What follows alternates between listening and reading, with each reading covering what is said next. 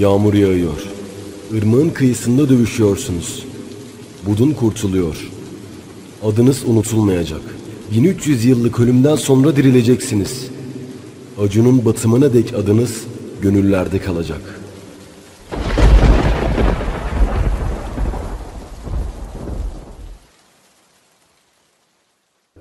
Kıraçata, Bozkurtların Ölümü romanında Kürşet için bu kehanette bulunmuştu. Kehanet gerçekleşmiş ve Irmağı kıyısında özgürlük için kanlarının son damlalarına kadar savaşmışlardı. Hüseyin Nihalatsız bu kitapta gerçek bir olayı romanlaştırmıştı. Kürşat ve Kırkçerisi olayının bu kadar meşhur olmasının en büyük sebebi ise bu kitaptır. Kürşat adıyla bildiğimiz kişinin adı Çin kaynaklarında Çiğşi Şuay olarak geçmektedir. Fakat Hüseyin Nihalatsız kitapta bu ismi kullanmak yerine Kürşat adını türetmiştir. Külsigi'nin ismindeki külden kürü, Bilge Kağan'ın ünvanından ise şadı birleştirerek Kürşat adını bir ilk olarak isim literatürüne eklemiştir. Bu videoda Çiğşi Şuay'dan ben de Kürşat olarak bahsetmek istiyorum. Çok yoğun emek verdiğim bu video hoşunuza giderse bir beğeni atarsanız beni oldukça mutlu edersiniz. Atacağınız bir beğeni gerçekten çok büyük önem arz etmekte. Ayrıca YouTube haricinde Instagram hesabımdan da tarih paylaşımları yapıyorum. Dilerseniz oradan da beni takip edebilirsiniz.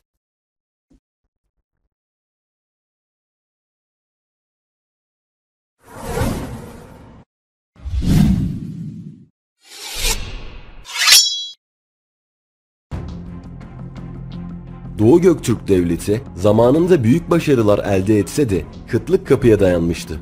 Bunun üstüne Çin'in entrikaları, savaşlar ve hava şartları derken büyük bir gerileme yaşandı. Bir gün bir sefer sırasında Göktürk Kağan'ı Çin'e esir düştü. Bu esirlik aynı zamanda bir devletin dağılmasına sebep oldu. Zamanında Çin'i vergiye bağlayan Doğu Göktürkler artık onların egemenliğine girmişti. On binlerce Türk artık Çin'de yaşamaya mecbur kaldı.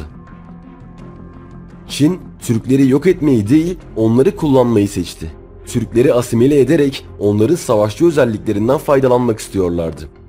Bu yüzden Göktürk Hanedanı Çin sarayında veya Çin ordusunda üst makamlarda görev almaya başladı. Böylece Kürşat da Çin ordusunda göreve getirildi.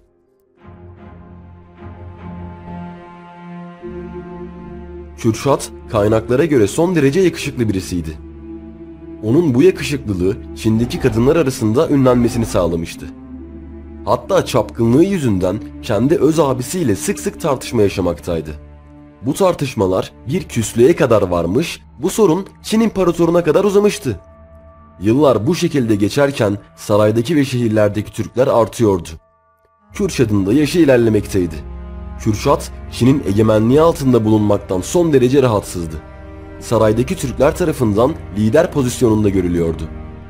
Bu yüzden kendi çevresinde Göktürk beylerini toplamaya başladı. Her biri iyi savaşçı ve zeki beyler olan bu kişilerin sayısı 40'ı bulmuştu.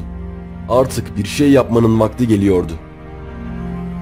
Çin Prensi Liji her gece sarayından çıkıp dışarıda yürüyüş yapıyordu.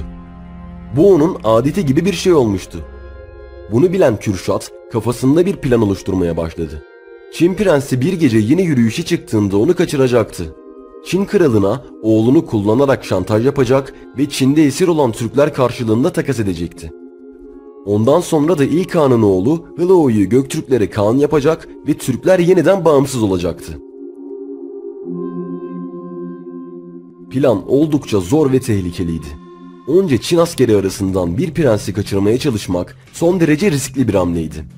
Fakat Kürşat ve Kırkçerisi bunu göze alarak operasyon gününü beklemeye başladı.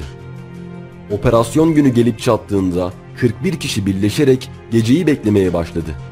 Ancak o sırada hiç beklenmedik bir olay gerçekleşti. Hava aniden kapandı ve korkunç bir fırtına başladı. Hemen ardından ise dehşet bir yağmur. Çin prensi de doğal olarak bu havada yürüyüşe çıkmaktan vazgeçti. Bu vazgeçiş Kürşat'ın tüm planlarını suya düşürmüştü. Fakat 41 kişi vazgeçme niyetinde değildi. Göktürkler ya bu gece özgür olacaktı ya da silinip gideceklerdi. Gözlerini karartan Çeriler yağmurun altında sırılsıklam bir şekilde Çin sarayına doğru at koşturmaya başladılar. Ne gökten boşalan yağmur ne de kızgın şimşekler onlar kadar kararlı değildi. Saraya varmadan önce Çin'in dört savunma birliği vardı.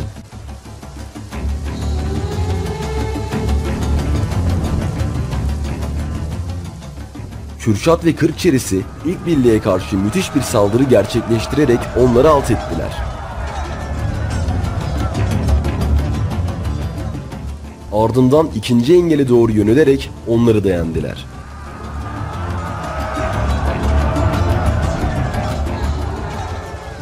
Hızını kesmeyen Çeriler, üçüncü birliği de perişan ettikten sonra son hedefe doğru yöneldiler.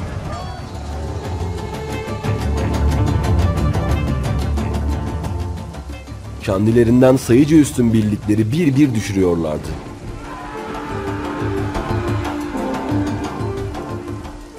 Olaylardan haberdar olan son savunma birliği Sun Wukong tarafından yönetiliyordu. Bu birlik önceki birliklerden daha kuvvetli ve daha kalabalıktı. Kürşat ve Kırkçerisi bu birliğe karşı başarılı bir şekilde savaşsalar da kazanmaları mümkün görünmüyordu. Ve savaşa savaşa geri çekilmek zorunda kaldılar. Geri çekildikleri rotaysa ana vatanları Ötüken'di. Ötüken'in yolu üzerinde ise Vey Nehri bulunuyordu. Bardaktan boşalırcasına yağan yağmur Vey Nehri'ni adeta taşırmıştı. Kürşat ve Çerileri Vey Nehri'nden karşıya geçmeyi amaçlasa da bu hava şartlarında mümkün değildi. Artık geriye tek bir çare kalıyordu. Ölünceye dek savaşmak. Çinlilerle kıyasiye bir dövüşten sonra Çeriler kalabalık düşman birliğine karşı hayatlarını bir bir kaybettiler. 41 kişiden yalnızca İlk Kağan'ın oğlu Hıluu hayatta kaldı. Hıluu esir olarak Çin sarayına götürüldükten sonra güneydeki bir ülkeye sürgün edildi. Kürşat ve Kırkçerisi'nin bu ihtilal girişimi, bu isyanı, bu saldırısı Çin'deki Türklere ilham vermişti. Artık tüm Türkler bağımsızlık ateşini tam yüreklerinde hissediyorlardı. Olayın tehlikeli bir boyuta geldiğini fark eden Çin yönetimi bu olaydan sonra fikir alışverişlerinde bulundu. Türklerin Çin'de çok arttığını ve asimile olmadıkları sonucuna vardılar. İleride bizim için tehlike oluşturabilirler. Onları geri göndermeliyiz diyerek Türkleri Çin'den gönderdiler. Sonraki süreçte ise Türkler tam bağımsız devletlerine yeniden kavuşacaklardı.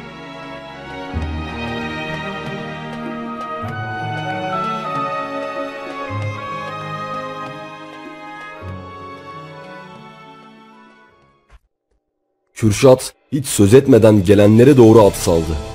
Dokuz arkadaşı da öyle yaptılar. Karanlıkta at üzerinde sert bir vuruşma başladı. Bu artık son çarpışmaydı.